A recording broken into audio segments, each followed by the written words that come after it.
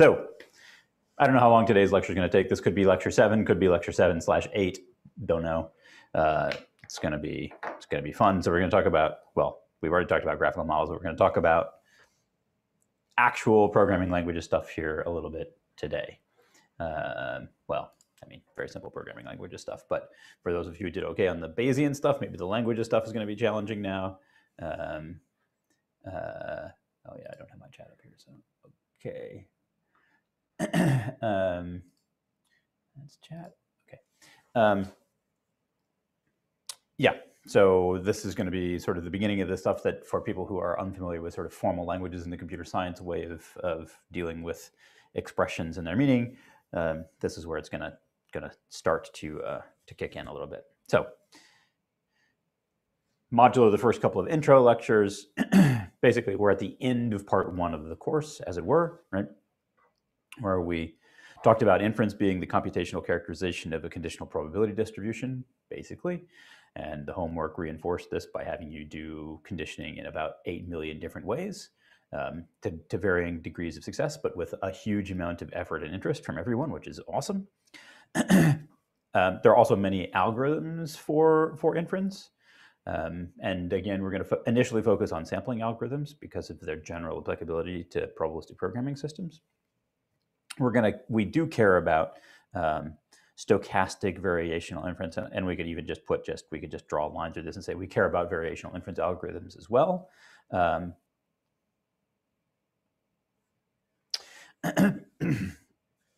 and they're related, and we'll cover those um, soon enough. So just a couple of a couple of things to say about graphical models and to sort of recapitulate some of the stuff that we've we've talked about. So graphical models correspond to a subset of probability models. They you know they the, they allow you to visualize the structure of, of a probability model. They're useful for model design and development. They encode certain properties, sometimes explicitly, sometimes via inspection. In particular, conditional independence is something you get from inspection. And the thing that I'm trying to get everybody up to speed on is that you can you can frame inference and learning in terms of computational operations on the graph. But a couple of things that we need to, to be a little bit more careful about before we go too much further is one, uh, you know, we've done a bunch of we've done a bunch of sorry, it's a different different note note taking system. We've done a bunch of um, graphical models at this point where we have random variables and so on and so forth. but when we consider the the, the distribution of, of, of this random variable, uh, it has some parameters and those are generally speaking computed from the values of the variables above. Okay, so there's this thing called a link function, right? So gen more generically in the graphical modeling context, the value of a parent variable may be deterministically transformed into the parameters of, a, of, a, of the distribution of a child. So in the case where you have a, a, probability model where you have a mean and a, and a standard deviation term, pretty clearly the link function is a, some vector valued function, but, but more to the point, transforms the standard deviation into a variance term in order to plug it into the, the normal uh, probability distribution. We'll, you'll see more examples of this as we go.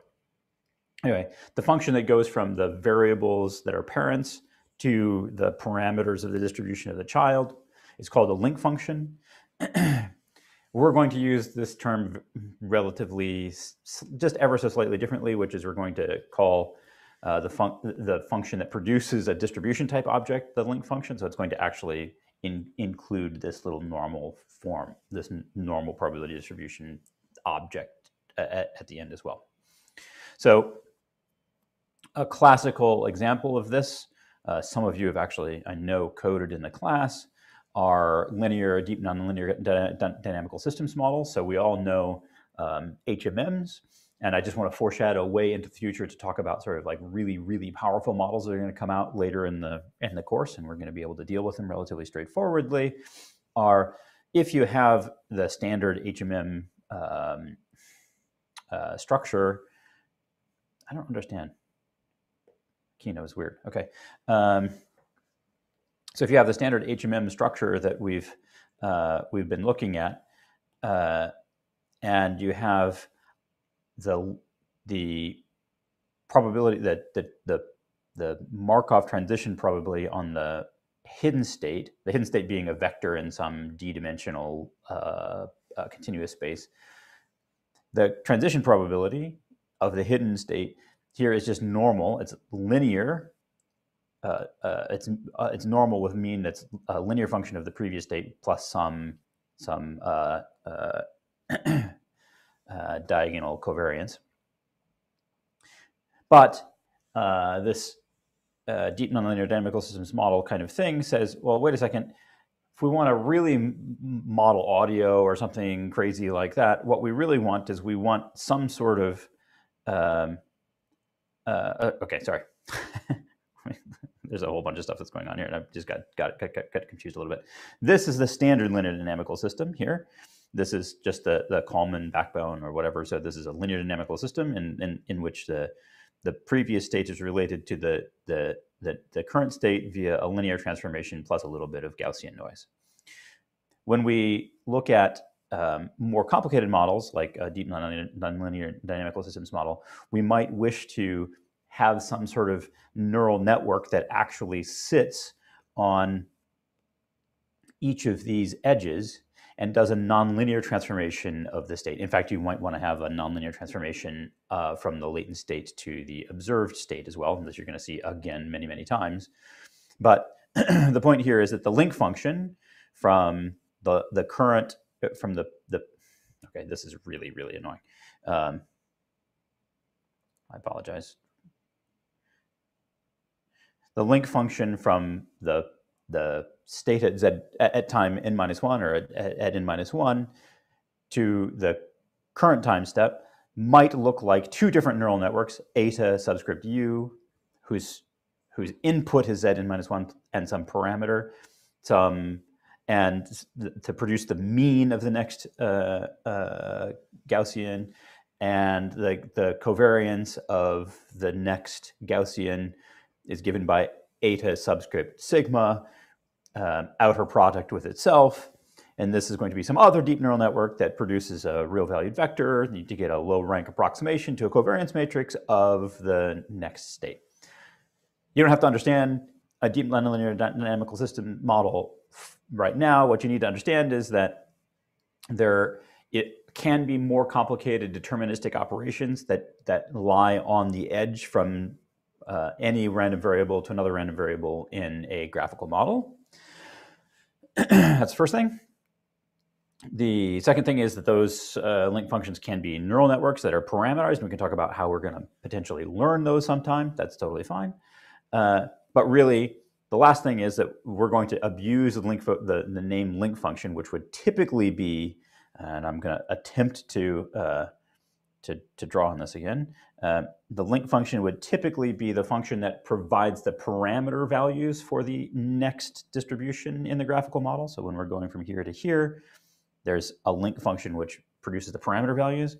When we talk about link functions, we're going to talk about a function which produces this entire, an expression for this entire distribution, including the deterministic operations to produce the, the, the parameter uh, values and some expression that indicates what the actual uh, probability uh, uh, distribution is here, normal.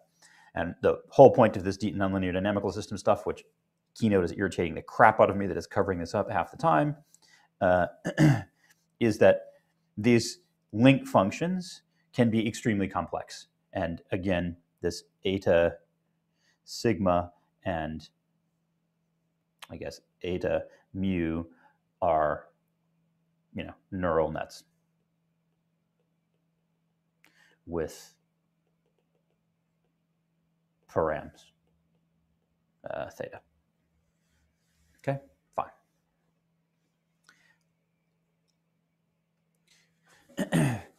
An example of this that you will see when we start talking about comp compiling um, uh, programs to graphical models is uh, are, link functions that have non, non-trivial deterministic expressions. So obviously neural networks are non-trivial de de deterministic expressions. But uh, if you look at the this graphical model, uh, and here I'm mixing uh, factor graph and graphical model notation in a way that's acceptable, but um, could be slightly confusing. Uh, the black dot here is meant to, to indicate the link functional in the probabilistic programming sense that we've been talking about. Here we say that Z is governed by a Bernoulli uh, uh, uh 0.5 uh, distribution. So Z is a probability, right? Or, or, rather, sorry, is a is a, a zero one quantity, right? It's a coin flip. And Y here is normally distributed, and we've done this kind of We've looked at this kind of uh, syntax a little bit already, but it's normally distributed if the value of z is 0 with mean minus 1, otherwise mean 1, uh, standard deviation 1. Yeah, I'll say that again because I'm sure most, if not all of you, missed that. So this is a mixture model. Um, let's say, so if z is 1, then y, this will be y, and this is, I guess, p of y. Then y is normally distributed about uh, the value, about mean 1 uh, with standard deviation 1. Okay, so this is this says if z is 1, then the, the mean of this normal distribution is 1, and its, all, and its standard deviation is 0. Otherwise, if z equals 0, z equals 0, z equals 1, if z equals 0, then the distribution of y is a standard normal centered at uh, minus 1.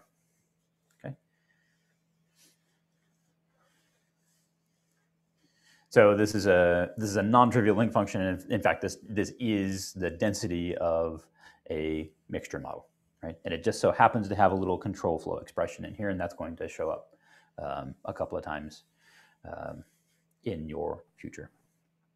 I have a question. Awesome, thank you. I just keep waiting for questions because you know, like I keep throwing stuff out, and then there's no questions, and it's like pointless. Okay, yeah, go on. So in this uh, notation is it saying like so you said that it's saying if z is one it's this thing and if it's zero it's this other thing. But when i'm looking at it it looks like it's saying if z is zero it's centered at negative one and if z is any other value it's centered at one.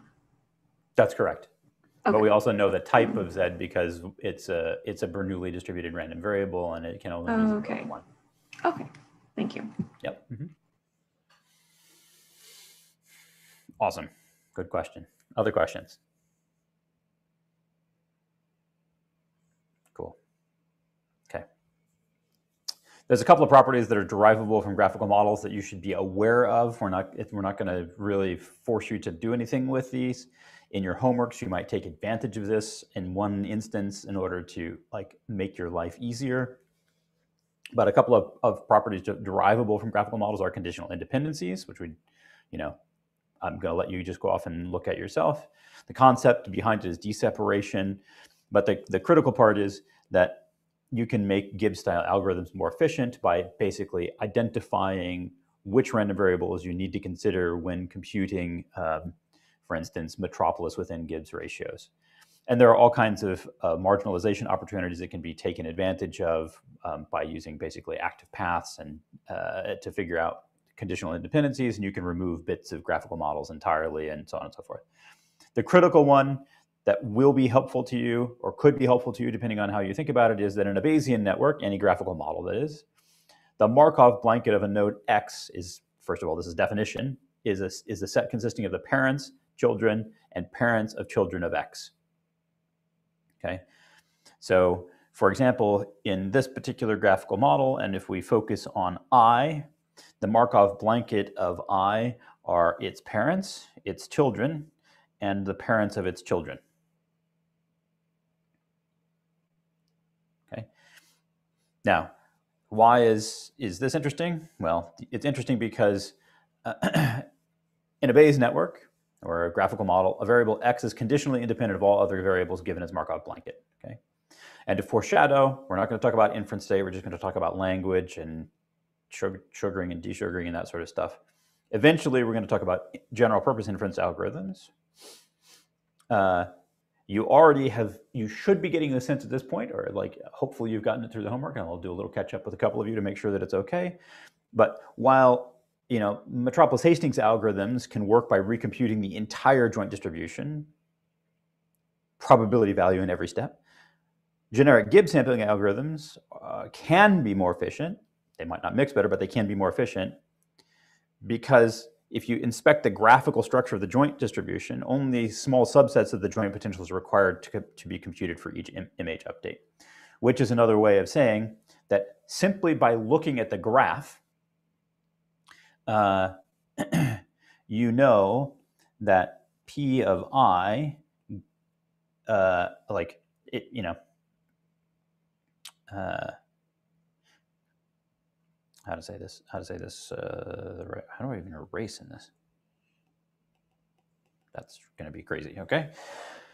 Um, what, what I mean to say is, is that uh, when you write down the acceptance ratio for a metropolis within, within metropolis within Gibbs uh, update, for instance, you know that you need to sample from the conditional distribution of I here if we're going to use this given everything else. But the Markov blanket statement says that I is conditionally independent of everything except for its Markov blanket, which means that in the joint distribution that you write down, you know that you only have to ever consider uh, the terms P of I given E, P of uh, L given I, P of L given I and J, da, da, da, da, P of, you know, K given I and H. And literally everything else is is conditionally independent. So you can write immediately, you can figure out what the Markov blanket is and basically what variables you values you have to consider when you're writing a Metropolis Hastings algorithm. Just to point this out, if it isn't already obvious how, how this kind of works out, um, if if you, and obviously there's, you know, I guess we're looking at I star. We're used to this notation, so I'll put I star here. So those are the only terms of the joint that you need to consider, right? I'll also point out that those are the only terms out of all of the terms in the joint distribution which involve I in any way at all, right? All the other terms would just cancel out when you're writing a metropolis within Gibbs step for I. I have another question. Awesome. Great. Thank you. Wonderful. How come M doesn't come in? Because it is, it depends on I, but up a couple levels?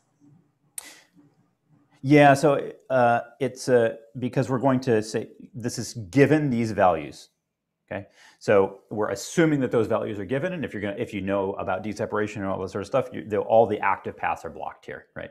So it's it's this uh, Uh, uh, the conditional independent statement is that variable is conditionally independent of all others given, and we should, like a nice way of saying this, given the values of all the random variables in its Markov blanket.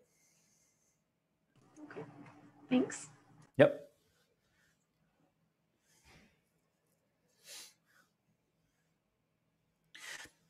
So just to sort of get you start starting to think like i mean the the pain of homework one was to make sure that you were a willing to put up with the pain of, of doing this b had had the understanding of what's going on with probability models and conditioning and that sort of stuff.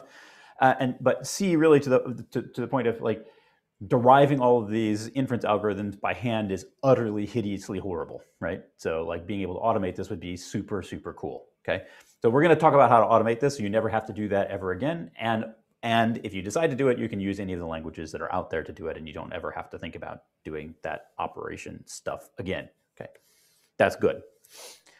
Um, I just have a question. Um, why do we Ryan, have to? I... Why do you have to include L given I star and L given I star J? If you're given J, why do you have to like? Uh, I've forgotten which one of. Uh, Oh, uh, this is the explaining away thing, right? So uh, in in general, in in this shape, right? When you have edges into, and this is again stuff I, I'm, you know, next year if I have to, I'll I'll teach all this. But this year you should just look it up. Uh, and we I gave some hints in the lecture. I think you were not not here on, but basically, this variable becomes conditionally dependent on this variable when this variable is observed. Sure, but they're both observed. That's fine. I can look it up myself. No worries.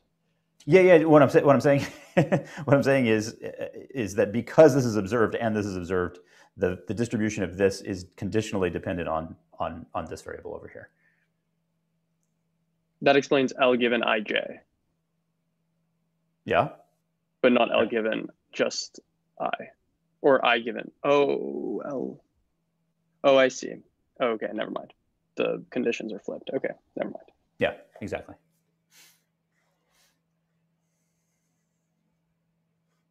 Cool. All right. Awesome. Perfect place for, for questions. We've had a couple. Are there more? Mia? No? Naomi? Nimrata? No? I have a question. Go ahead. Oh, okay. Narada, yeah? Yeah, uh, if you can go back to the graph. Yeah. Uh, right. So will the uh, uh, will we have to include terms h given d? Here? Uh, yes. No, that's not in the Markov blanket. Okay, so just uh, so it doesn't matter. Uh, so h does not. So all the terms in the Markov blanket, if they're being con there in the uh, how do I put it? The left side of the conditioning, they're being conditioned on, then that they, we don't have to include them. It's just whenever I is being literally this is the definition of a Markov blanket. I, I can make it a little bit clearer. This is immediate parents of children of X. Okay. This I'm, I'm, I'm this is like I, am trying to uh, use uh, a, a thing that uh, some other lecturers do here, which is to sort of like give you just a little bit more after we've talked about graphical models, and to just to keep it, uh, you know, like to, you know, uh, uh, keep it in your head. This is none of this is necessary. I'm I'm I'm saying I'm saying that you should be aware that there are there's an entire textbook uh, by one of the smartest people in machine learning, Daphne Koller and Nir Friedman. What's it called? Uh, uh, yeah, uh, probabilistic graphical models, right? Like, here's the deal.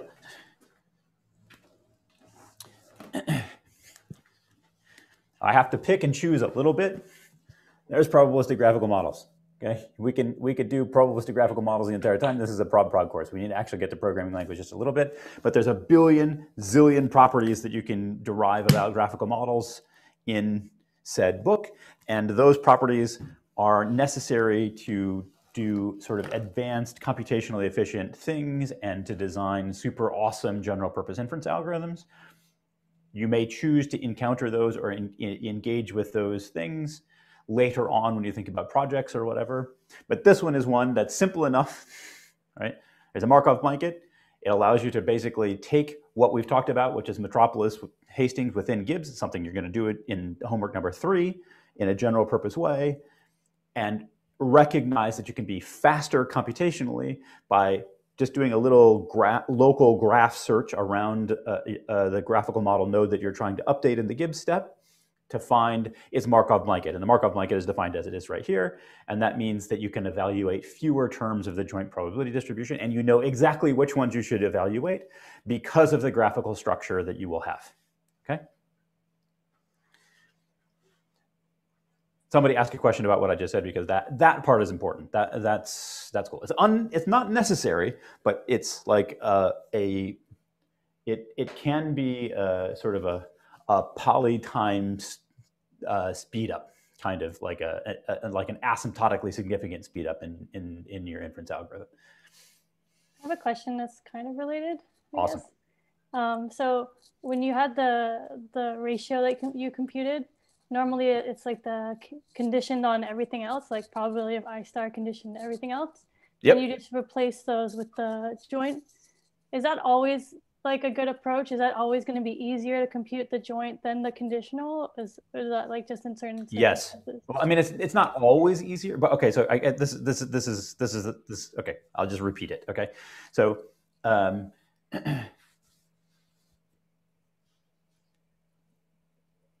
what does it mean to be conditionally independent, right? You've got P of A, you know, you've got A, you got random variables A, B, and C. And I say that A is conditionally independent of B given C.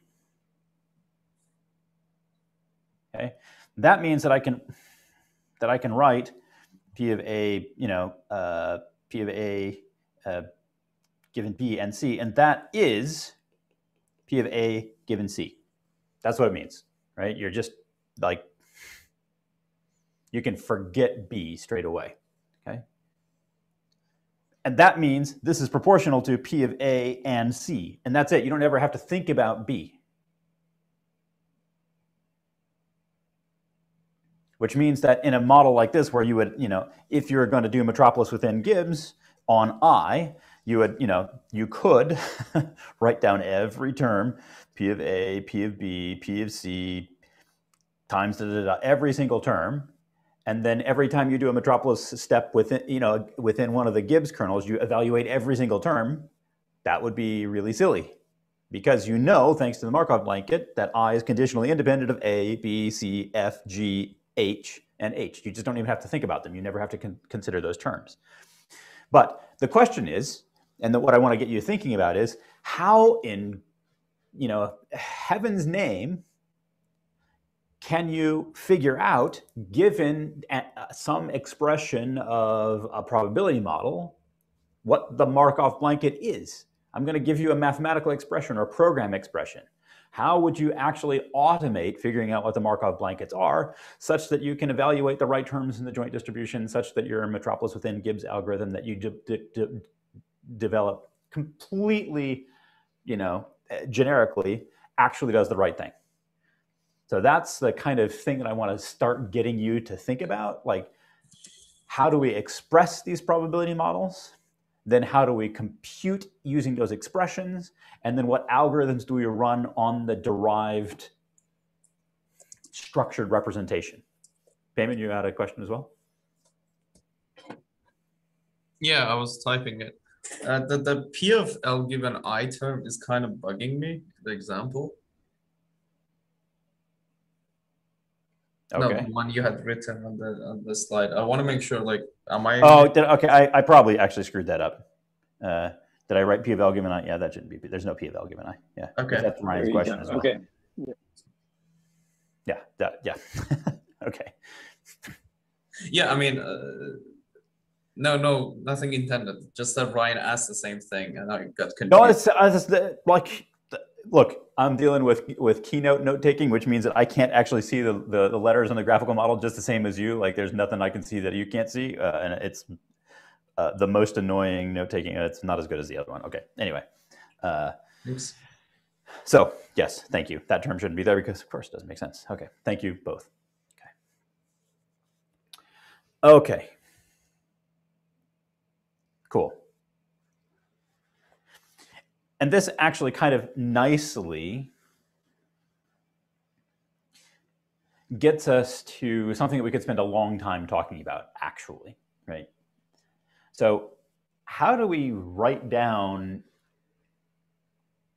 anything? What does math mean? Like, I mean, Emma has been driven crazy, and I suspect other people have as well, with, with like the total pandemonium of my random notation that like switches from one slide to the next and doesn't make any sense and isn't consistent and is like Kevin Murphy's textbook all over. Yeah, okay, yeah, I understand.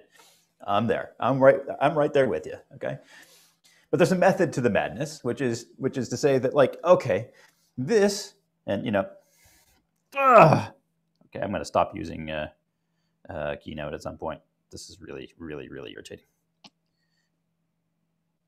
Uh, this here is accepted mathematical notation.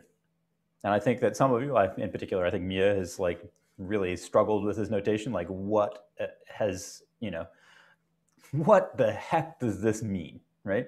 And for computer scientists, this notation is crazy making, right? It, like it, it means a bunch of stuff. So what does it mean? What is what does it chime in? What does that mean? What does x twiddled beta alpha beta mean? Does Don't be shy. The probability of x equals beta of alpha beta. So like you know the, what's what's the, the probability density function like for a beta like, distribution it's you know p so it, it, this implies that p of x given alpha and beta excuse me uh, is equal to whatever the the the the you know it's one of gamma of alpha times gamma of beta over gamma of alpha plus beta times something or other is that right i don't even remember It doesn't really matter Tell me if I get it wrong. I think this is wrong.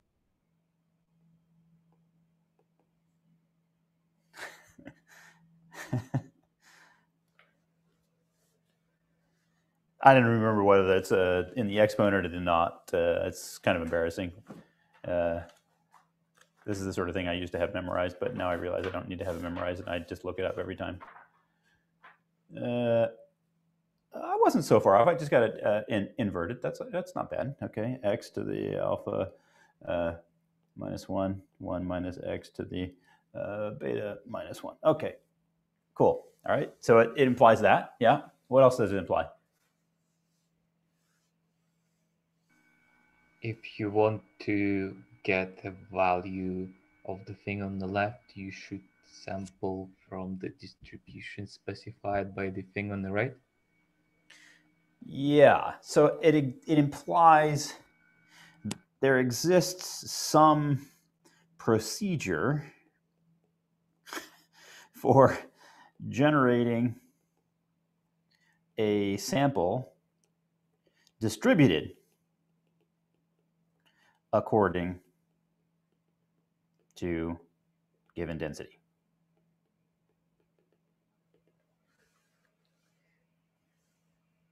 So this is this is weird, right? For a computer scientist, this notation actually means that this thing is an object.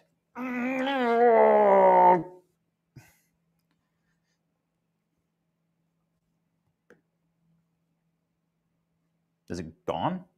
Uh, uh, that this thing is an object with two methods, sample and log prob or score, whatever. Okay, so straight away, even mathematical notation is totally, totally overloaded, right? There's like two things that are going on here, right? Same thing with this. Bernoulli says that there's some probability density function, and in this particular case, a, you know, uh, uh, yep, uh, and there's some ability to, there's some procedure for sampling from it. So um, and the procedure for sampling from a Bernoulli distribution is one that that like uh, I think you could probably write. In fact, I know that Adam actually did in his homework by sampling from the the cumulative, you know, the inverse cumulative distribution function. So we know how to do that. But sampling from the beta, hmm, that's actually not so easy, right? How do you sample from a beta distribution?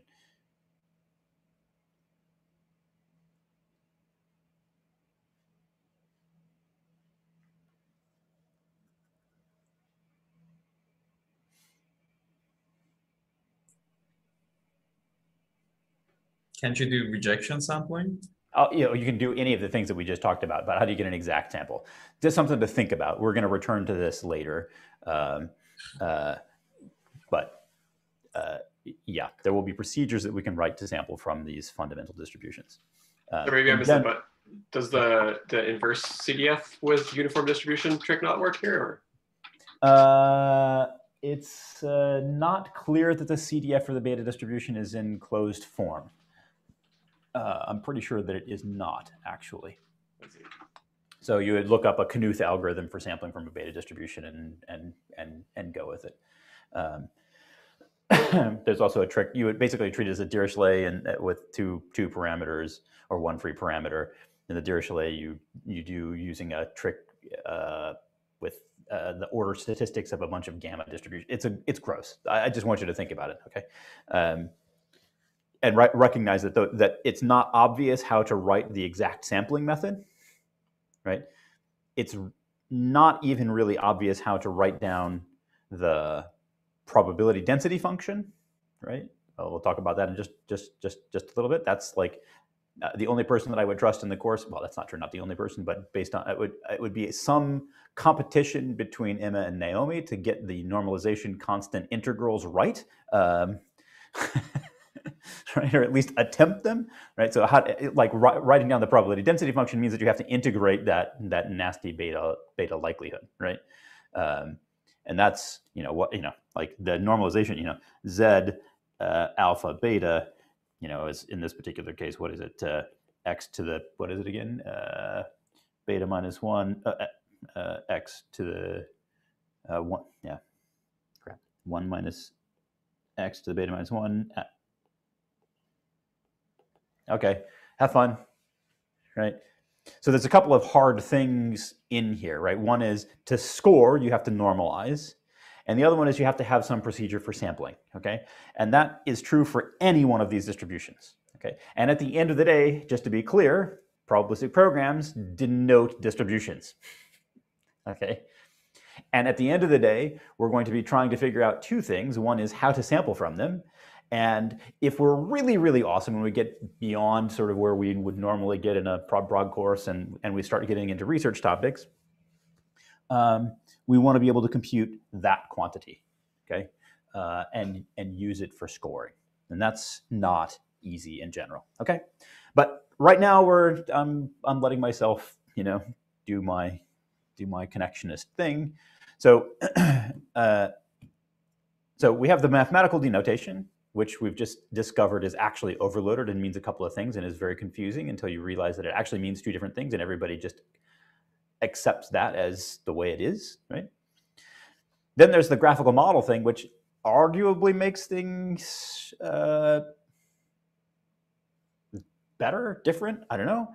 Uh, it's it says the same thing, but it, but now you can see at least the graphical linkages, and and by you know the the the you know, work of our foremothers and forefathers, we can derive algorithms that tell us something about the structure of the probability model based on the graphical structure. Okay. And we're not going to, again, stress that too much, but that's something you should know. This course uh, is about being a little bit more formal about what we're uh, writing down and what it means, um, using notation that's uh, well, different, right? Uh, it's programming languages notation, okay? So this same model, the x is distributed beta alpha beta and y is distributed Bernoulli x, you know, modulo the fact that I'm using Roman letters rather than, than, than, than Greek letters here, uh, is the same. So, so in the language that we've talked about, modulo two operations which are, are or two special forms which are new, this says let there'd be a prior, which is a distribution typed object, B beta AB. So a distribution typed object, well, you know what a type is. It's an int, it's an object, it's a whatever. Like it's going to have things that you can pass it. You know, there, there are going to be functions that require distribution type objects in order to, to, to work. One of them will be sample and the other one will be observe. But you can pass around distribution objects just like they're um, just like an int or a float, right? Here we say that x is a sample from the prior. Okay, uh, and this prior distribution. Uh, an another way, if you're uncomfortable with uh, functional programming and are more familiar with ob uh, object-oriented programming, you can think about this as, as an object again uh, where there's a method sample that you can you can you can pull off the a, a sample, right? This likelihood is also a distribution type object, right? and here's a data point. Right? And we observe, given a distribution, a value y. and here, also implicitly in this kind of notation, you're supposed to know, as I've demonstrated somewhat confusingly in, for the first part of the course, that in this particular setup, the thing that you are interested in inferring is the posterior distribution of x. You're just supposed to know that. In particular, it becomes obvious in the graphical representation because at least we uh, say that we observe y there. Over here, this program very explicitly says exactly what you observe, and the program explicitly represents what the posterior distribution is over. And here it's going to be over the return value of the program.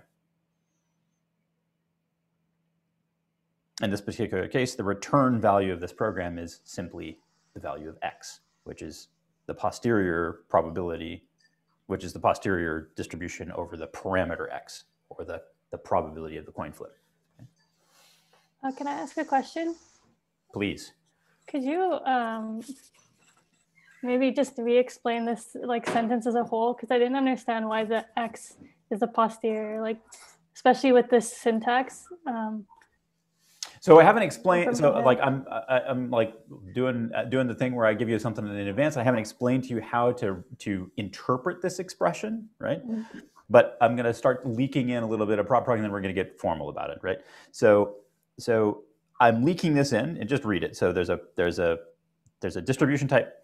Cool. There's a there's a distribution type object beta AB. That's a prior distribution. That's this thing right here. X is a sample from that prior. That's this thing right here. Also this thing right here. Right. There's a likelihood, which is Bernoulli. That's this thing right here. Also this thing right here. And then there's an observation Y, which is this value right here, and it's given there's actually a value. The value of y is 1.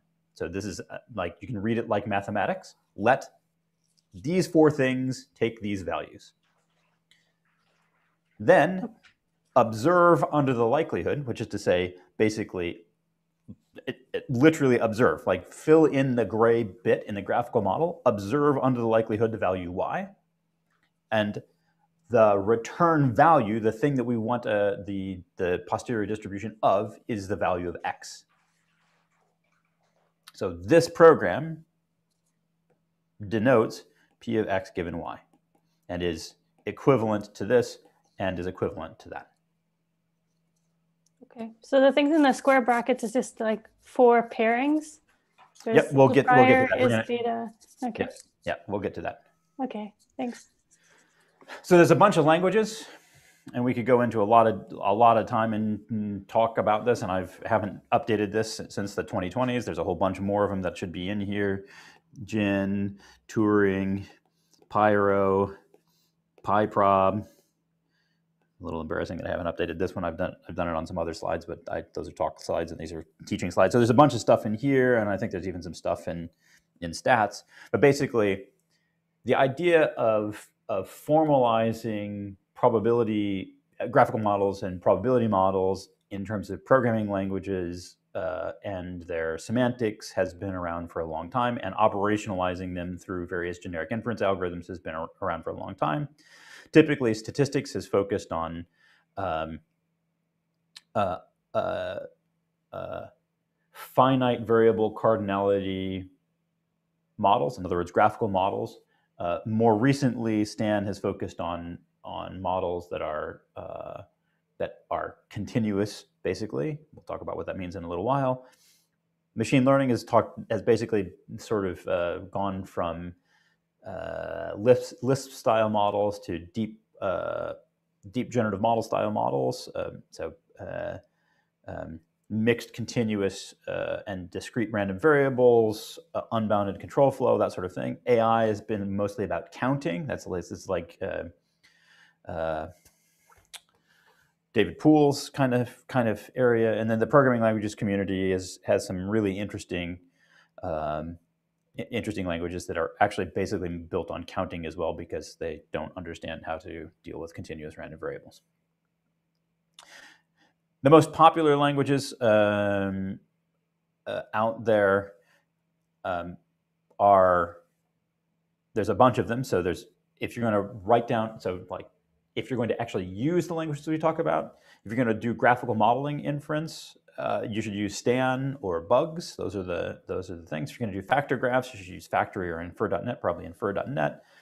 Uh, if you're going to do infinite dimensional parameter space models, basically if you're going to do research in probabilistic programming, then you probably want to use something like WebPPL or Anglican or maybe Pyro now.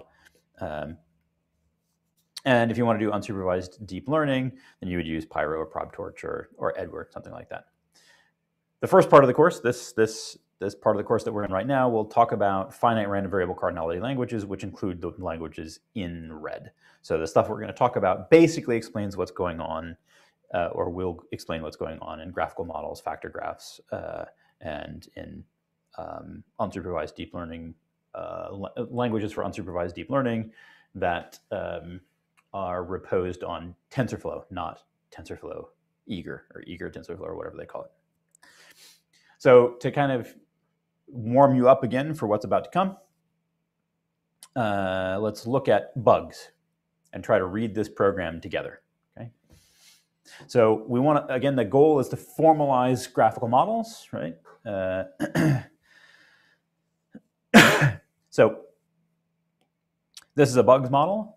Uh, the model class that bugs is capable of expressing are finite graphical models, and generally speaking, inference is sampling based, and they do Gibbs sampling of the sort that we're, we've talked about with uh, kind of automatic uh, Markov blanket determination and some automatic Rao-Blackwellization, conjugate family kind of stuff automated. So in the bugs language, you write down a model like so. X, hey, there's our favorite overloaded symbol, tilde, which is uh, you know, normally distributed with mean and standard deviation. And then there's they actually have control flow for i equals 1 to n. y sub i is distributed uh, uh, normally with mean x and some uh, precision. And outside the program, there's a data block where the values of some of the random variables are bound. So these are unbound or free variables. Notice that n is unbound and y is unbound, and they need to be specified outside of the program somehow. So there's a block that binds the values of the free variables. n is given the value 2, and y is given a vector value with first entry 9 and second entry 8. Now, if you look at this, uh, uh, you will see that there are one, two, three random variables, two of which, because they're bound externally, have known values, one of which is not um, uh, is not is only involved in control flow. It's not uh, not not observed. Okay. So can everybody read this program? The question is, what does this program mean? Sorry, is the C um, in the graphical model the same as the C? Is it just like multiple? Uh, no, sorry, sorry. The, the, C is literally a, a, a, vector constructor in bugs. It just says like constant, basically constant array. And that's part of the graphical model? It's not part of the graphical model. It has nothing to do with that C. Sorry, C, okay. C in, in this case is uh, one half and uh, A is one and B is one fifth.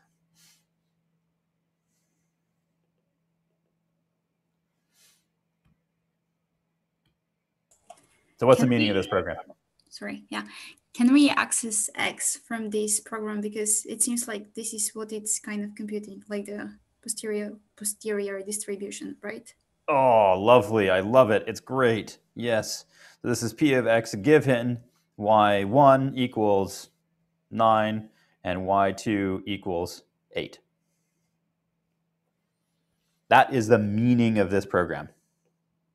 They're the same. Shouldn't do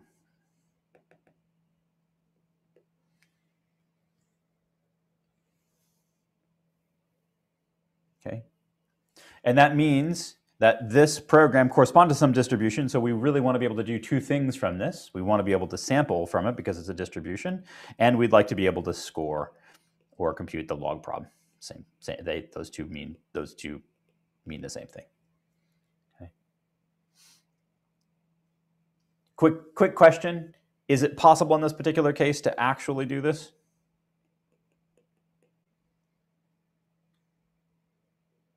I see somebody nodding slightly. I see most of you not not not not nodding.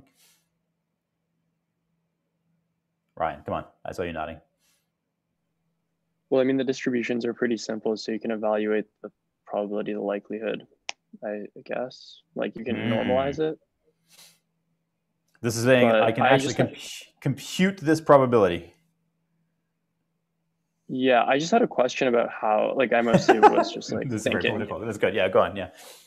Um, so this, like, this code seems to give me all the information I need to, like, it describes, like, I see that this describes that graphical model. Um, like, it implies this posterior, but I don't see how this is like, like, don't you need another, like, actual distribution to explicitly tell you the posterior like none the posterior distribution isn't any of these like explicitly constructed distributions right? Are you saying this no, the, this is the posterior this program that's is what i'm trying to get at. This program is p of x given y1 y2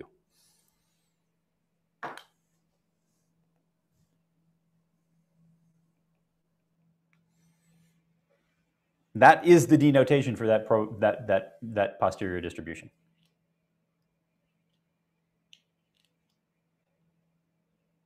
If you wanted to specify that probability distribution, that's the way you would write it down.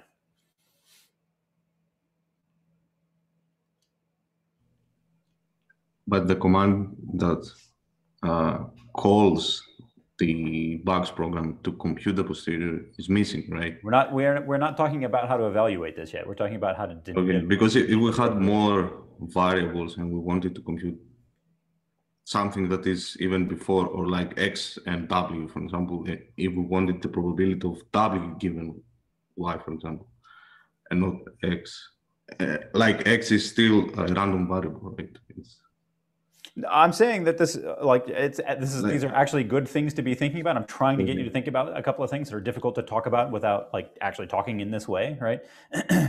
when I write down beta one one, I don't care what this the name of this thing is, right?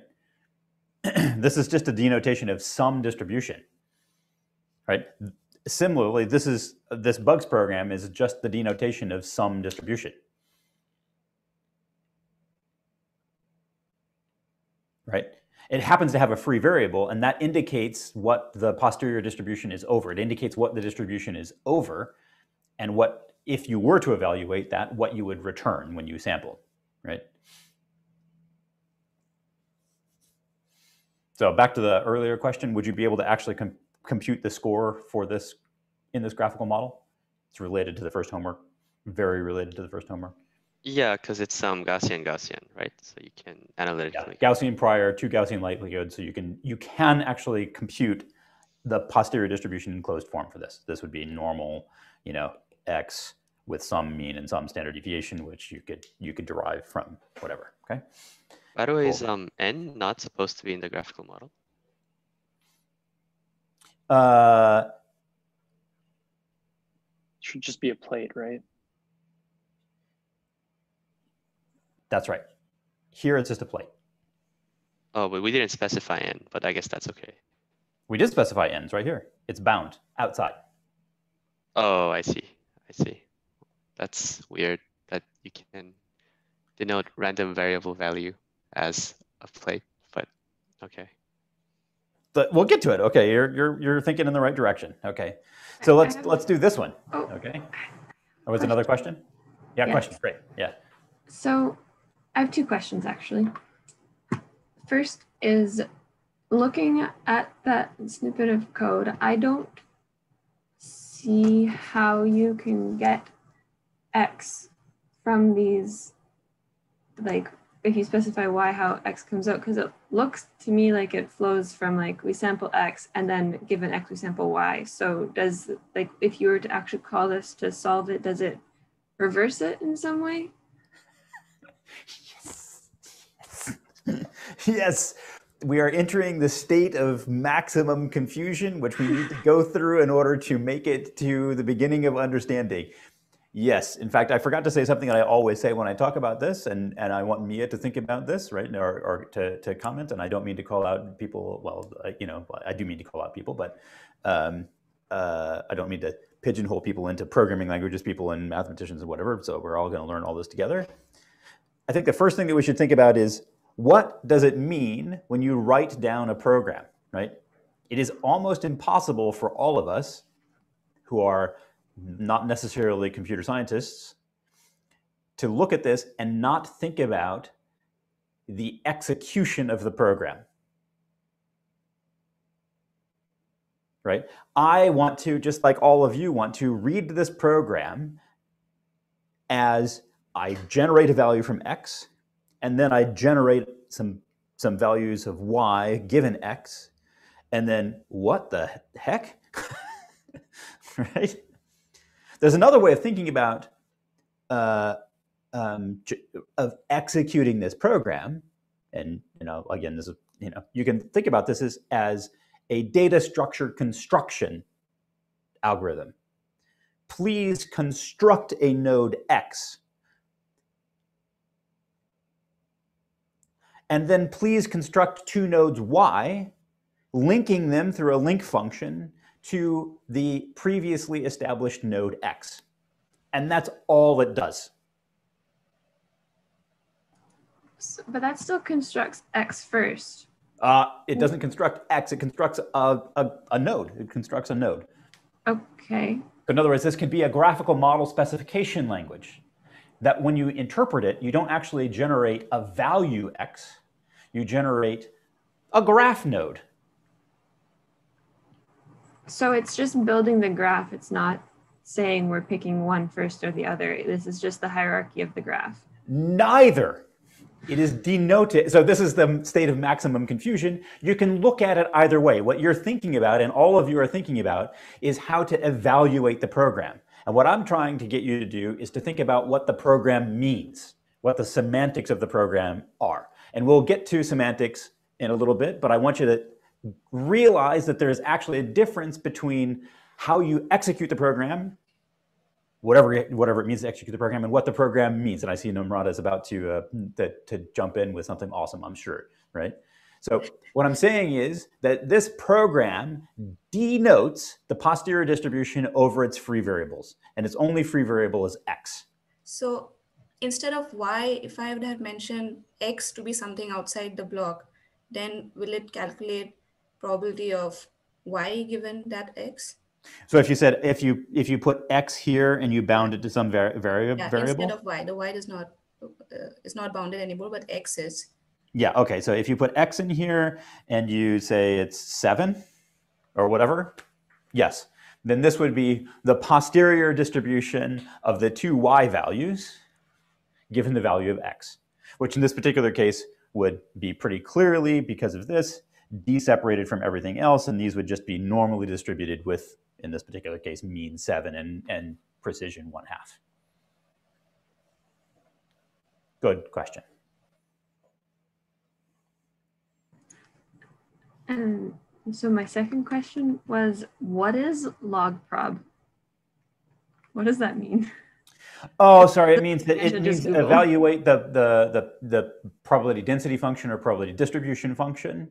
But in general, we're never going to actually work in like PDF or PMF land, we're going to work in log PDF or log PMF land. So, uh, and just just as a force of habit, I write down log prob. So it's basically whatever the density function is, just take the log of it. I have a question. Um, if we didn't specify y outside, then would just would this be the joint Oh, there we go. Yeah. Okay. We're starting to move move through the state of maximum confusion oh. into oh. yes. Okay. Great. And payment. Uh, yeah. It, this in in bugs. It just so if you were to go off and actually put this code into bugs and try to match it up with other code, they use precisions rather than means and variances. Uh, uh, or standard deviations. Like whenever you write down what the value, when you, whenever you define formally the semantics of a normal distribution, you have to decide whether the arguments are standard deviation, variance, or precision, right? Uh, like you got to choose that. But yes, Naomi, back to you. This, if you didn't have the value of y's bound, then this would be the joint distribution. Correct. Okay. I wasn't sure based on your response if you were saying yes or you were saying, oh, you're very confused. no, I generally don't celebrate confusion. I mean, I guess I, I guess I did bit, before. though. yeah. but like when you have to move through it, that's you know that, that, that that's fair. Okay.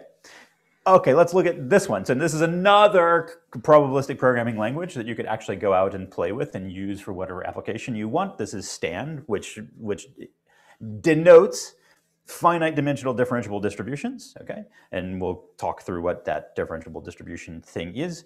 Here I've done something horrible and actually not showed you the, um, the, the, the binding block, but I'm gonna tell you now that these variables, just like in, in, in BUGS, are bound externally. The values are bound externally. So what is, what is this model?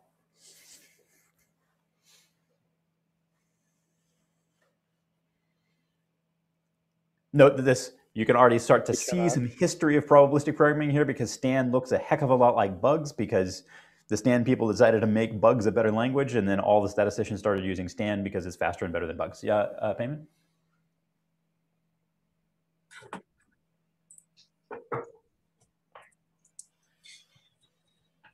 Payman, I know, given your research, that you should know immediately what this, this model is. Yeah, I posted it in the thing. You did? I see. It sounds like you're just kind of, hmm. It's HMM. uh, it is an HMM, but that's true of lots and lots of models. But I want to be a little bit more specific than that. Specific? Yeah. Naomi, I'm going to go no with linear regression. It's okay. Is it uh, filtering?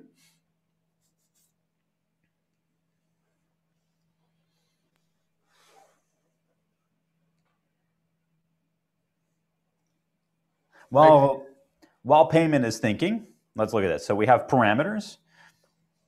So parameter block, the real x's, right? And I realize that we're about to lose the p break. Are you going to be okay without a p slash eat break today, Emma? Because it doesn't feel like it's happening. Okay. I mean, I've only got 21 minutes. If we take it now, it's kind of silly. I, I apologize.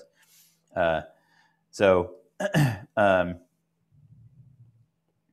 we've got some x's. Let's just let's look. Let's evaluate this program. We've got x1 is normal, 0, 1.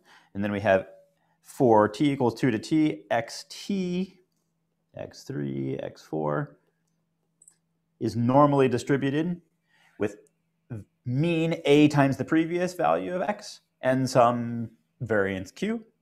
And then for t equals 1 to t, you have some, oh no, no, stop. God darn it. It's really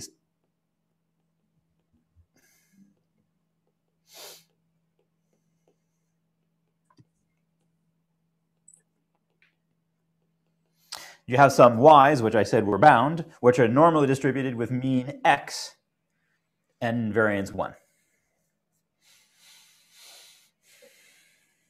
Okay?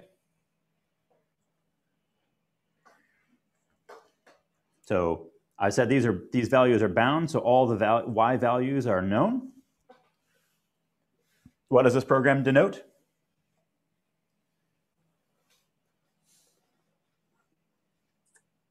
This whole thing.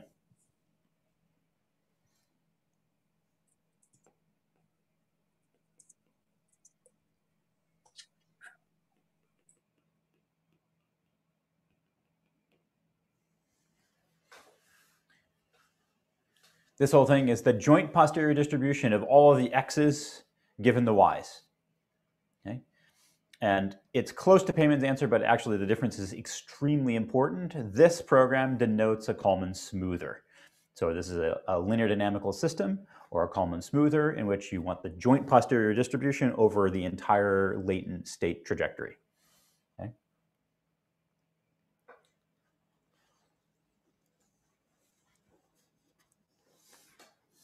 And you can see how, for instance, if you wanted to do inference in a linear dynamical system using a, using a, a, language like Stan, it's incredibly easy to specify and incredibly easy to put the data into. So you have a modular representation of this posterior distribution. Questions about is this it one? typical? Is it Yeah. typical for the um, initial hidden state to also have an observation? doesn't matter. The way this, okay.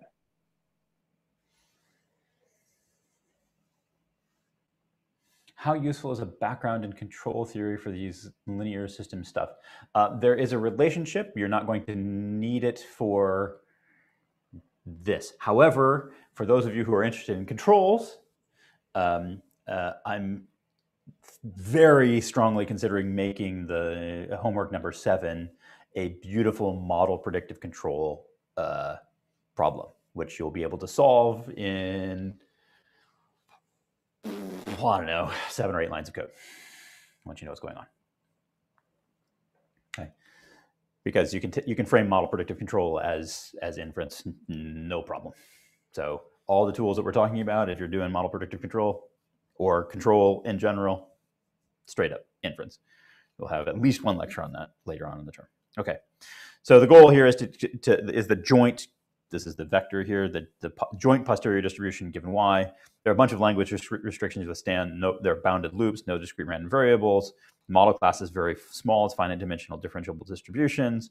But the inference techniques that they use, because of these restrictions, are very powerful. We'll they do uh, Hamiltonian Monte Carlo using reverse mode automatic differentiation and black box variational inference, both of which we'll cover. I won't go into too much detail about this, but I'll just say that if you have a particular model that's well expressible as a factor graph in computer vision or natural language processing tasks quite often fall into this. Um, provided you can write down your model as a finite composition of factors, then Factorie and infer.net are languages that you can use to write down, for instance, conditional random fields or a TrueSkill model or something like that. And again, one of the one of the largest prod prog deployments out there in the real world is the uh, player matching system in Xbox Live. Um, so when you you know go to battle against your online friends, your uh, opposing teammates are picked using infer.net, uh, doing inference in a very very large factor graph, basically computing a TrueSkill model, which is cool. Uh, and there are deep probabilistic programming languages. We're going to come back to these um, later on in the term. And to foreshadow, we're going to go in the next next part of the term uh, where we'll talk about languages that open up. So all the languages we talked about right now are restricted and they're like finite dimensional parameter spaces.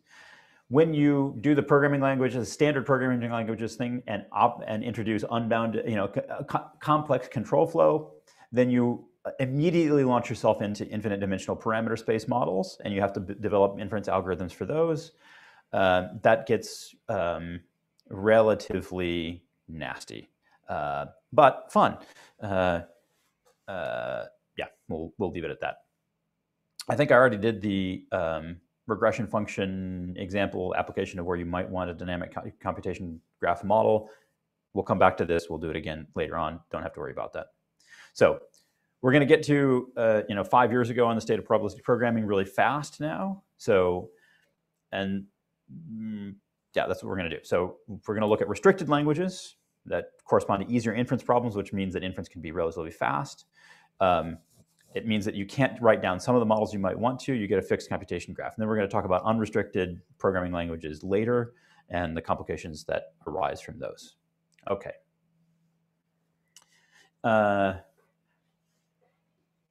I was going to do, uh, okay, uh, I'll come back and do the demo at the end um, uh, if people care. But uh, this is the model we were looking at. But what I want to get to is the beginning of part two, just a little bit, just to get it into your, to get it into your head. And we're going to start with a language. And we'll probably spend the rest of the time talking about the language because I'm guessing that for some of you, this is going to be kind of new. In fact, we might even just stop on this slide. Okay? Uh, but uh, I have a feeling that amongst uh, amongst the several of us, Adam and Mia probably could just like explain this right now, looking at this because they they they know the form of grammars. That would be my guess. Um, but let's look at this and, and see what it means. So we're going to talk about for the first bit of the class and the first I think the next three homeworks we're going to be talking about first order probabilistic programming languages. In particular, the one from the book. Please read chapter two clarity comes there, intuition comes here. That's that's the way. That's the most effective way. Um, great. So when you write down a formal language, you can use first thing write down a grammar, so you can you say what expressions are allowable in the language. Okay, so this grammar tells you what expressions are allowable in the language. Okay, and you can read it in lots of different ways. Um, uh, this is a recursive definition. Okay, and that's just the way it is. So suck it up. Uh, you should start here And what this says is that a program, or basically a denotation of a distribution, in particular denotation of a posterior distribution, can start with either an E or a form defin F, E, followed by a Q. And note there's a Q here. So in other words, basically it says that you can write a, write a program that consists of a bunch of function definitions, a bunch of function definitions, recursively, and then a body. And an E can be replaced with a constant, a constant value or primitive operation, a variable name, or any one of a bunch of special forms, basically.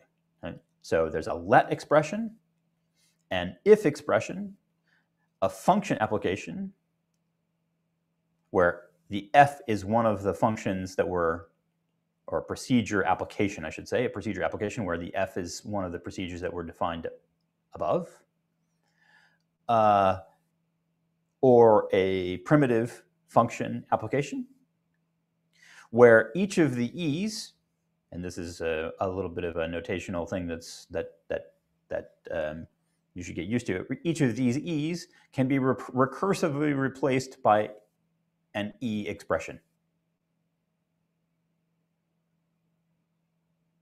Okay.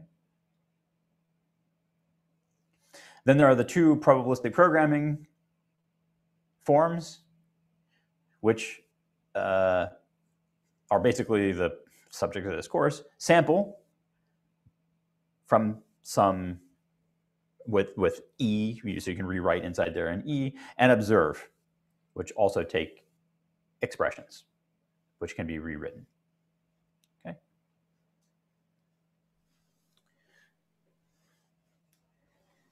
So this language is not Python. It's not Julia. Sorry, Adam. Uh, it's, uh, you know, it is a language, right? It's uh, a Lisp-like language uh, whose syntax is stolen from Clojure because it has slightly better syntax and slightly better naming, but it's basically a Lisp. But you can think about this as basically being a, a, an abstract syntax tree of an intermediate re representation language or something like that if you don't like functional programming or Lisp, and you can think about writing in some other language and then compiling it to this. But this, this language was very carefully defined because uh, if you'll notice, there's, there are no looping constructs. There are no recursive constructs, so on and so forth okay? Which means that, uh, as you will see, all evaluations, all programs that you can write will evaluate to graphical models, okay? So carefully defined design language that allow you to interpret a program, and that means transform it in some way, uh, into a graphical model, okay? So let's do a couple examples just to, just to you know, uh, get you thinking, right? uh, so we can do a program that looks like this. We can do defin uh, plus. Uh, we get to put variable names here, a, b, and we can have this return plus a, b. So plus is going to be, for instance, a primitive operation. So what does primitive mean? It means that it is defined in some implementing language on whose values or semantics we understand. Okay, so I don't think the the meaning of plus is uh,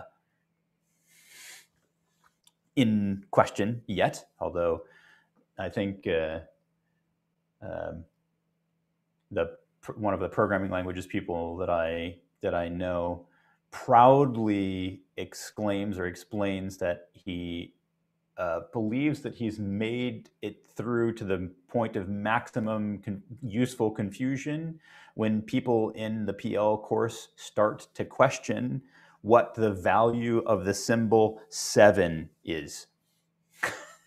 right? So seven denotes something. It is a symbol, and you can assign its meaning to be whatever you want it to be, right? So we're going to use, you know, normal uh, uh, interpretations or meanings assigned to symbols like seven and plus, but you should realize that those are literally defined in a, in a stack of definitions all the way back to Bertrand and Russell, basically. Okay. Fine. So we've defined a function. We can define, you know, minus to be, you know, AB of minus AB. Okay. These are functions. And then we can say, you know, let x be sample normal 1, 1, y sample normal 1, 2, uh, z be uh, plus xy, observe normal z1 17. Can I ask a question? Damn it. Uh, why? Uh-huh. Yeah. Uh, is a function is different from a procedure? Uh, a procedure. No, we're going to say that a, a procedure is a function whose definition is provided in this language. Okay. So the all the the first three items are like provided like building blocks in a way. Are you talking about these three items here, V, Yeah. E, and F? Yeah. So V is going to be a variable, so it, it will be you know whatever it, a, B. There's they're symbols. Basically, you can think of these as being symbols. They're they're variable names, so they're not provided, but they're the set of variable names that are allowable, right? There's going to be basically any string, right? Modulo some restrictions, like you probably shouldn't name a variable let or if or sample or observe or something like that. That would be not a very good idea, right? Uh, C's, yes, those are going to be symbols or expressions whose values are known in an underlying implementing language. So the value, the the you know the Unicode Unicode char- character seven, we agree means seven items of something, right? And the the Unicode char- character plus means you know addition in the mathematical sense, right? Mhm. Great. And procedures are different than primitive operations. So primitive operations are functions that are opaque. In other words, you don't know how they're implemented, Mhm. right? But whose whose whose action in an underlying implementation language is agreed. So again, plus would be an example of that. So the the symbol plus corresponds to a function that, when given two arguments, does what we expect it to. Mhm. Uh, and then the procedures are, it's just a word to, to, to distinguish, are functions that are specified in this language. Okay. But notably, these functions can have sample and observe in them, whereas, uh, and I haven't stated it yet, but it will be it will become apparent in a little bit. The we will assume that the underlying language is purely deterministic. There are no there's no stochasticity in the underlying language whatsoever. So there's no sample, no randin, no whatever. All stochasticity happens at this level, none below. So the only place that you can have sample or observe are in the body of in the main body of the program or inside one of the expressions. Inside one of the procedures, excuse me. Does a procedure always say let first? Or No, this I just I just made a procedure right here. So this is a this this define? so F is the procedure uh, name. The variables are all variable names. So these are A and B here. Mhm. And then the body is an E. And I expanded the body at, in this form right here, which was a primitive operation, um, with two e's, and those e's, e1 and e2 in this particular case, expanded out to be variable names. Okay. Okay. And just to throw it out there to really warp your brains straight away, when you start talking about like doing uh, like program synthesis, which is one of the things that's super cool in probabilistic programming, you can imagine writing a generative model of said programs by attaching probabilities to each of these rules. So there's a go between between a, between grammars, which allow unboundedly long constructions, and probabilistic grammars, which allow which automatically uh, short, put a prior over the space of, of possible expressions, preferring short programs, so like a Kolmogorov complexity kind of thing. So when we talk about doing program synthesis, one way to do it is literally to write programs that generate programs using this syntax. Pretty cool. Okay, so you can ask for very easily the posterior distribution over programs. Weird. Okay, and there's reason to do that. Not least of which, it's in, that's what's inside of Excel, right? The, the, that little flash fill feature, that's actually what it does. It does inference over programs, okay? So when you think about like why the heck has nobody ever copied Excel and had it uh, operate, it's these little features that seem really beautiful and intuitive, but actually have like 50 years of crazy research behind it, like expanding out, like sliding to the right. Oh, that's that's crazy when you think about what's actually happening.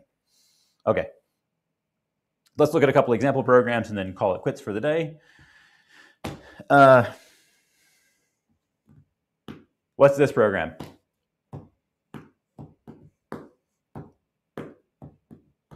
I should stop doing that. That's annoying.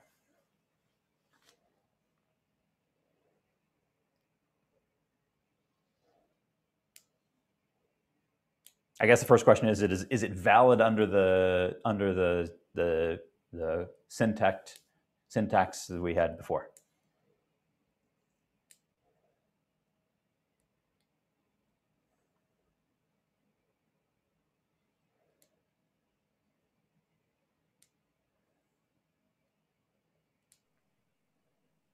I don't remember what observe does with two arguments. It takes the first distribution argument, and we're going to, we'll be very explicit about this, but there's a distribution, that's the distribution. And this is the value that is bound to the output of that distribution. So another thing, we, uh, we fill in the graphical model and say that that value, a value from that distribution is observed.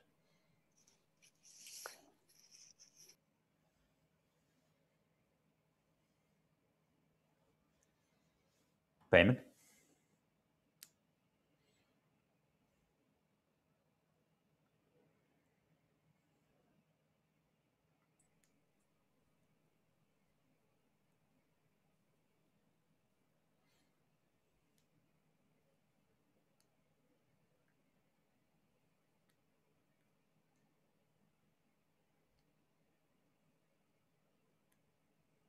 Guess to be fair, I should really ask Naomi to chime in.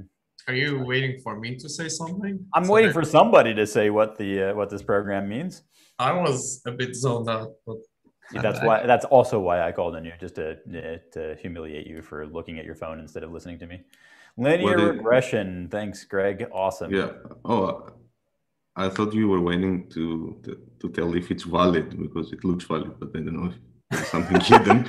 it is it is valid. So so uh, sorry. So yeah, linear regression. I mean the the the, the names of the variables are pretty are pretty uh, um, uh, in, indicative, right? So there's slope. I'll just call that m to make it easier. B, right? So you've got m and b. These are sampled from some prior, and then we call a procedure observed data with parameters slope and intercept, and then we have some value and some other values. So what are oh, they're interpreted as x and y values or input and output values, and we have a uh, we let the value fx be you know time slope x plus intercept. So that gives you basically a an estimate. We'll call this you know fx. It's whatever, right? And we observe a normally distributed quantity about this mean uh, with standard deviation one given value y, okay? And we call this observed data one, two, three, four, five times. So in other words, in the in data space, we have x, y pairs, one, two, three, four, five. We have five pairs, right, of data. And what we're after is what is the what what this means is what's the posterior distribution over the slope and intercept in a graphical model in which there are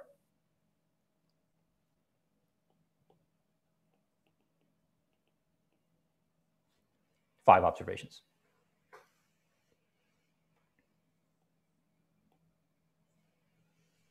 Is this um, normal linear regression or Bayesian linear regression?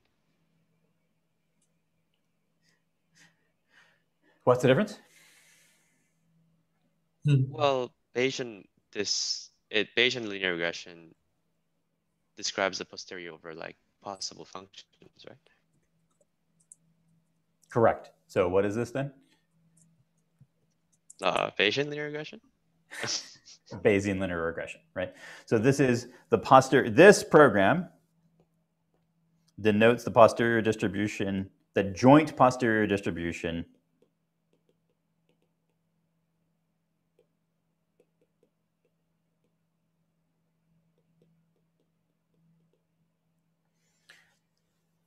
of W and B given the, the values of X and Y, and the values of X and Y are here. Right? Just as a quick little thing, how would you do posterior predictive inference in such a program? Wow. Your least favorite. So, so by the way, just to, just to throw it out there, like this program you could put, put into almost any probabilistic programming system uh, and solve your homework one problems like done, no issue, right? It, we've just written down the thing and now we're gonna do general purpose inference in it, right? So how would you do posterior predictive inference?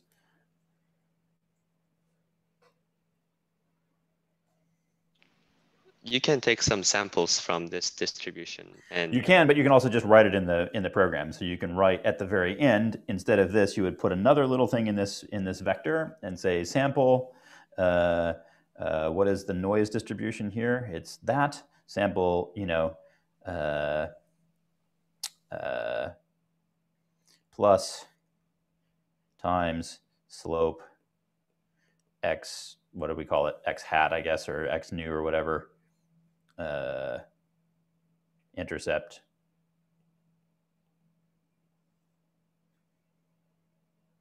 One.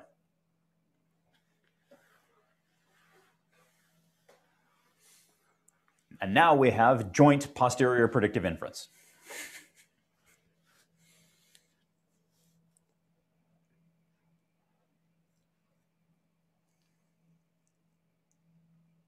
I can tell all of you are like, I've had enough. I don't want any more of this. My brain is about to blow up. Okay. Uh, we'll leave it at that.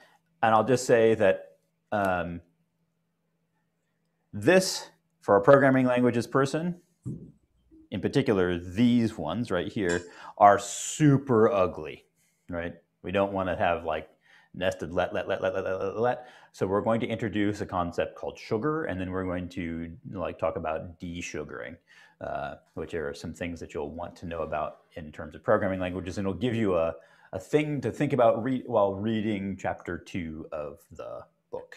Uh, so uh, questions, comments? Um, we'll pick up here next time. I have a question about the homework. About the second homework or the first homework? The second homework. Great. That's awesome. Um, well, not that I've looked at it, but that makes your question somewhat less awesome in advance, just to be clear. I don't want to get your hopes up too much. Okay. Um, okay, go on. You said before that the first homework was to be done individually, but then mentioned something about groups for the uh, homeworks after that. Yeah, so uh, you should still do the homeworks individually. In other words, you should actually do them yourselves, but you you should pick people that like just t- like I, the first one. I really wanted to know what you individually knew. Now I want you to you know, basically, I want you to each do the work, right? Mm-hmm. Uh, but I, I want you to ju- just talk amongst like just figure stuff out. I'm not interested in like like competitively judging one of you against the other of you or whatever. Right? That that's like totally not the point. Um, the my I will check to make sure that you know what's going on and you're actually getting it. Um, uh, but uh, you know, you know, I, there's having looked at the having looked at the homeworks. There is an there is a uh, and this is the reason why I actually did it. Again, I like basically never graded anything here at UBC, but I thought I'd do it in this particular case. There's really a very fascinating split. Everybody's really strong now. Like let's be let's be honest. Like everybody is ridiculously strong. I'm very impressed. So this is going to be good. Okay, but there are clearly some some some strengths that are that are different between people. So you might find somebody who's really good, you know, Emma, in your case, you might find somebody who's really good at programming languages, right? uh, or, or somebody who's really, really good at Bayesian inference already, right? And to be fair, I think everybody who's in my group, uh, that you should put your hand up just so you know uh, what's, what, what's going on. Put your hands up, everybody in my group. Come on, Jason, put your hand up. Okay, all right, there you go. All right, so all of these people theoretically should know a fair amount about Bayesian inference, right? They, none of them are going to know about programming languages. People, how many of you actually know about, uh, about how many of you know about programming languages? Put your hands up. Mia, Adam, I'm guessing. Okay, well, all right. so I'm just guessing that those two are going to be uh, the, the, the the the the resources there, and uh, you know, uh, in terms of like correctness and just mad horse like work your butt off, everybody else should put up their hands, right? So like that's that's awesome, right? Uh, uh, so uh, yeah, it doesn't have to be one person. Talk to multiple people. Get to know people in the class. It, it, it's the that's that's the that's the main point. I, I, do you have the ability to? I guess on Piazza you have the ability to reach out to one another, but it's a small enough group that we could even just distribute an email list or get a, a Slack thing. But Piazza's the way to go probably. So yeah. Thanks. Yep. And the second homework, by the way, is totally different than the first homework. It's really like, do you know how to evaluate uh, uh, a programming language? Like the, the language we just talked about, your the task of homework two is to build a forward evaluator. So in the manner that you were thinking about earlier, right, what you need to be able to do is reduce expressions in this language into expressions, symbols, or values in some other language that you understand. So you'll be given an expression like, you know, plus 17.6, and your evaluator should be able to tell me what the value of that is. You'll be given an expression like sample beta 1, 1, and your evaluator should tell me what the value of that is. And note that there's a little bit of an issue here because the value of that will be a set of samples. So if we're on this slide and we're over class time anyways, can I just ask like kind of a uh, annoying question? Like there's this grammar um, on this slide, it doesn't guarantee you have like a valid program, right? Like at all. Not even close. What do you mean? Like you'd have to do some sort, like you'd have to make some sort of guarantees, for example, about the values of like in the last line and the Q line, V1 through N and E. Um, like you need the first value of the if, like the first expression can't be just like a value or like a variable that's not a boolean. You will have some degrees of freedom in how you interpret these expressions. However you're right there is not a type system here. This is not a typed language. We're not talking about doing any sort of type inference here whatsoever. And indeed you can write nonsensical programs very easily. Yeah. Yes that's correct. So um, for those of you who are programming languages people or whatever, you'll get to know the symbol bottom. It's possible that it's very easy to write programs whose value is bottom, which is to say it has no, it's like it doesn't complete. It fails. Yes. So the space of meanings will have to include something like uh, did not compute.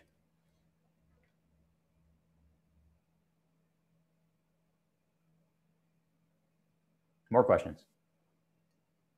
Comments? Can I ask about the BUGS in Stan? Yeah. There was uh, it. At least I, I can tell from the screen that it doesn't seem like it has a return value. Does that mean that the posterior that that describes is is just a posterior over all latent variables? Is it is it that simple, or is it just that?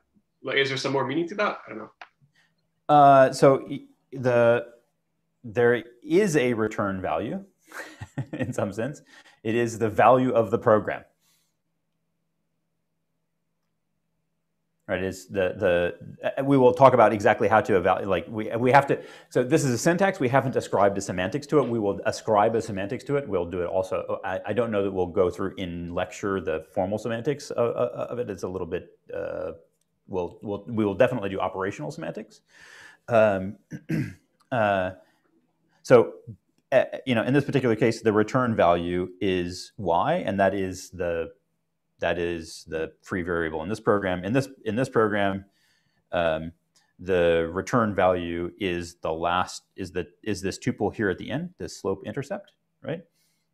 Uh, and for very simple programs, the value of the the you know sorry, um, the value. I do not understand. Um, the value of the program is, you know, this is a totally valid program. This is a valid program. Right? So the mm-hmm. value of the program, when you reduce the, the, the expression, it becomes something. Like when you translate the program through evaluation or whatever, it becomes something, right? And the thing that it becomes is a distribution. This happens to be a Dirac distribution on the value 8. This happens to be a Dirac distribution on the value 17. This program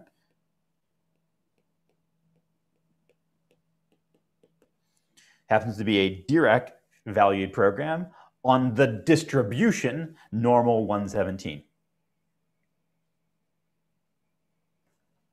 This program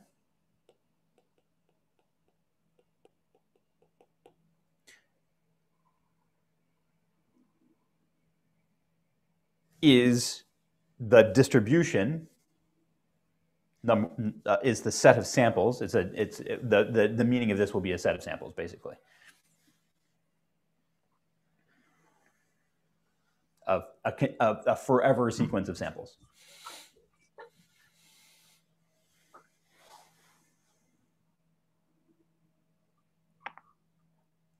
So in those earlier languages, it's just important that you're sort of you know, like whatever value comes, or like if you want to describe a posterior or a particular value, you, you sort of make sure that that is the variable that comes out last, I guess. Is that, is that the practical sort of way to think about this? Uh, yes, but in the grammar, the only, like, again, we'll, we'll talk about what it is, but like, there's only two ways of doing it. You either write an expression like this, or you put a let binding there and the the meaning of the let binding is whatever thing is is is here.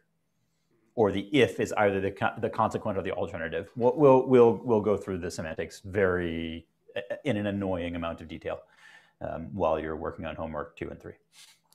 Yeah. But the next one is fun. If you haven't ever written an evaluator like writing an evaluator you will find uh, a, a troublesome, but then ultimately intellectually very satisfying exercise.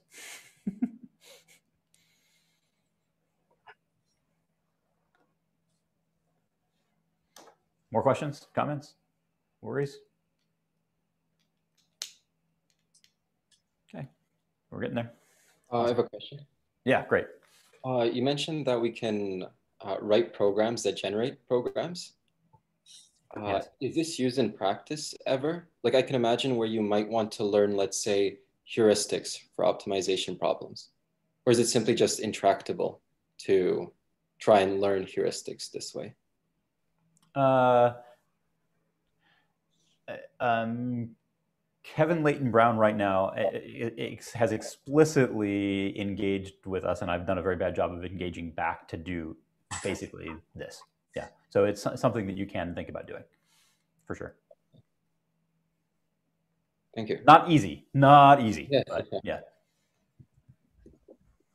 Yeah. More? Come on now. I mean, I know you've got something. I can see it. You're just, you know, you, you no. Okay. Let's see. Have we heard from everybody today? I think, yeah, I think, I think everybody except for Tony said something. Yeah, it's great. Right. If there's nothing else, it was lovely to see all of you. I look forward to seeing you on Thursday, confusing you more. Um, thank you very much.